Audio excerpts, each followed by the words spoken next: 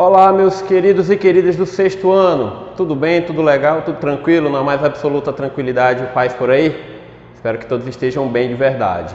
Queridos, dando continuidade aos nossos trabalhos, né? Nossa, na nossa querida matemática, né?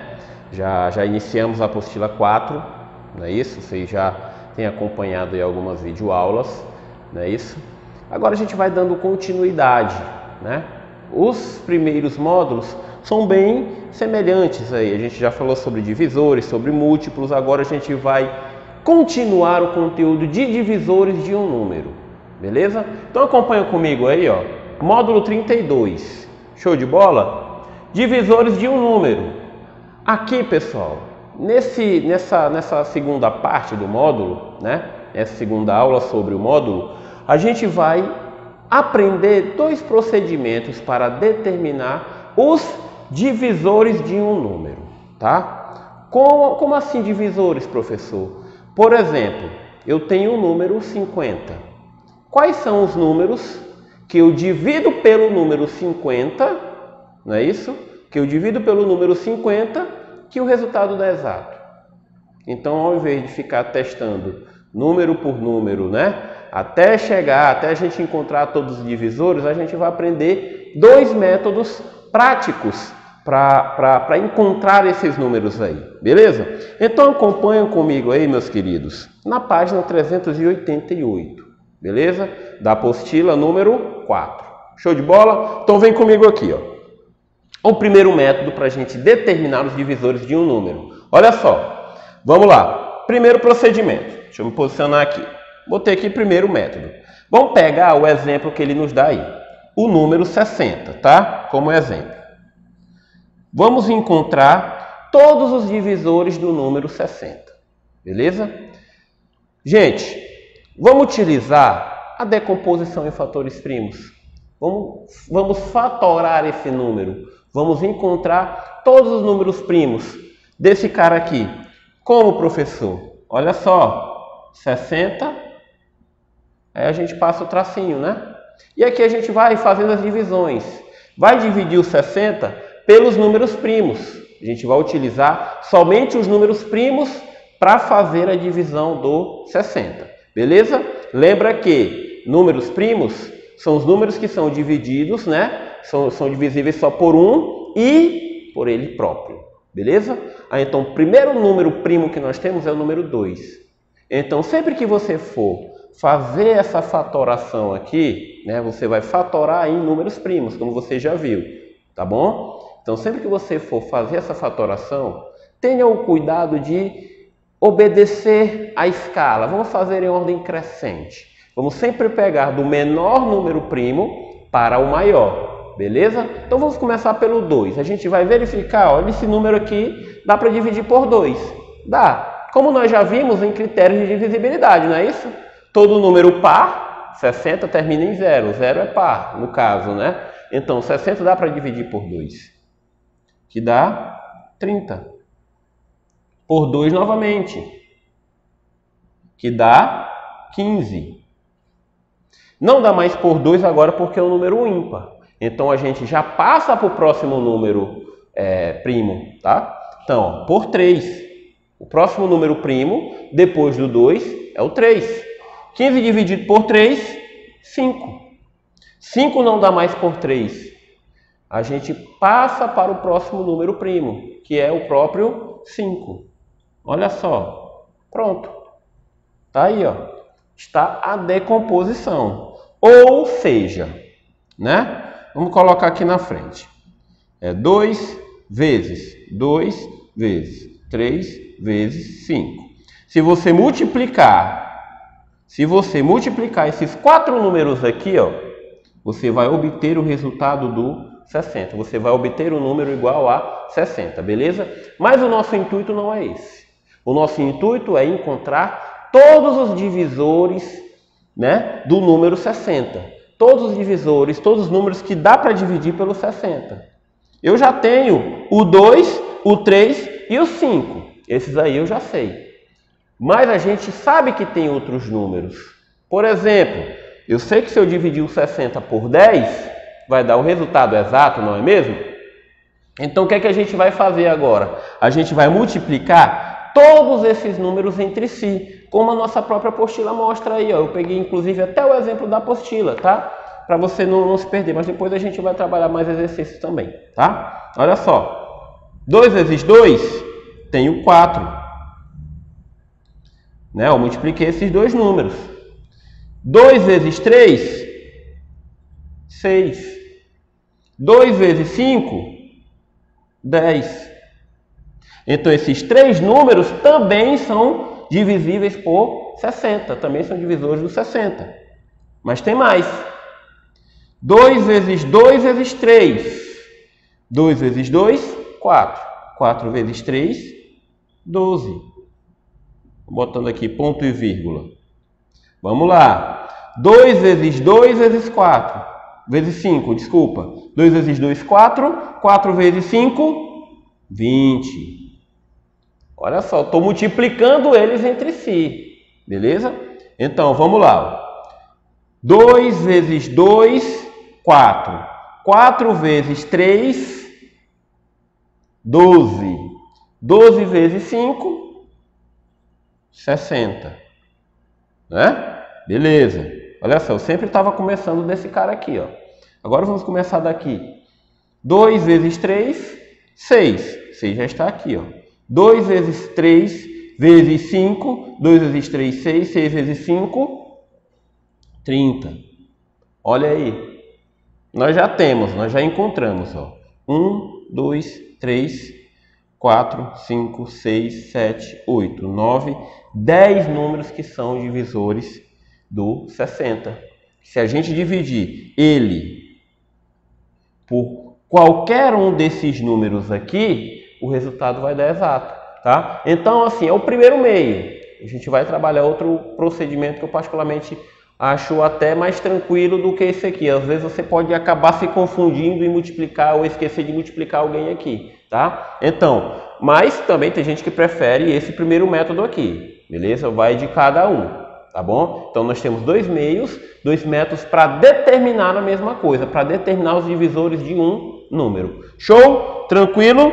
Então aqui está ok. Já determinamos todos os divisores. Ó. É o 2, é o 3, é o 5. É... Ah, ainda tem o 3 vezes 5, né, que a gente não fez. 3 vezes 5, que é o 15. Não é isso? Então, o 2, o 3, o 5, o 4, o 6, o 10, o 12, o 20, o 15, o 30 e o 60. Todos esses números aqui dá para dividir por 60 tranquilamente. Beleza? Então são todos os divisores. A gente está determinando não alguns. A gente está determinando todos os divisores de um determinado número. Beleza? Vamos lá. Continuando. Vamos para o segundo método, né? Que muda um pouquinho, mas o intuito é o mesmo. Segundo método, vamos pegar o mesmo exemplo, vamos pegar o 60. Ok? Para o segundo método. A gente vai fatorar ele novamente aqui, tá? A mesma coisa que nós fizemos aqui, ó, vamos fatorar, vamos decompor o 60 em números primos. Show? Então vamos lá. 60 por 2 dá 30. Por 2 dá 15. Não dá mais por 2, mas dá por 3, que dá 5. Por 5, que dá 1. Quando chegou no 1 aqui, acabou. Beleza? O que é que você vai fazer agora? Você vai traçar mais uma nova linha aqui, ó. Você vai traçar uma outra linha aqui, tá? Paralela a essa. Aí você vai colocar aqui o número 1. Por que o número 1? Inclusive, vou até acrescentar aqui o 1 também.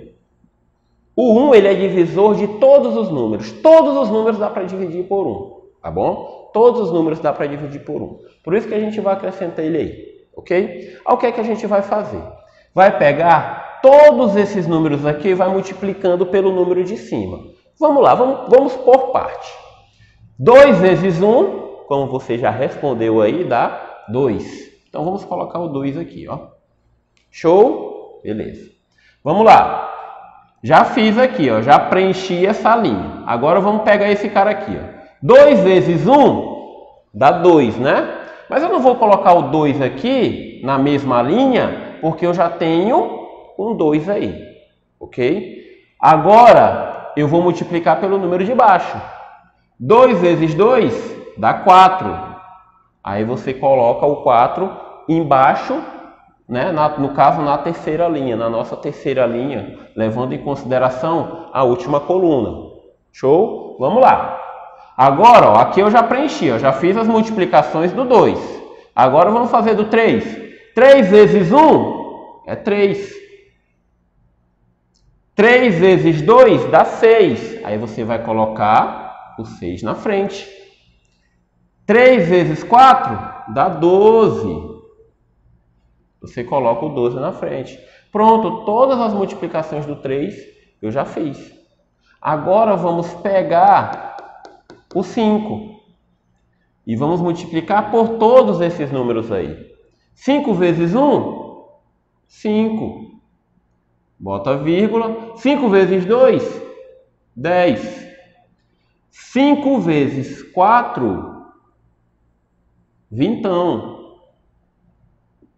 5 vezes 3, quinzão vírgula.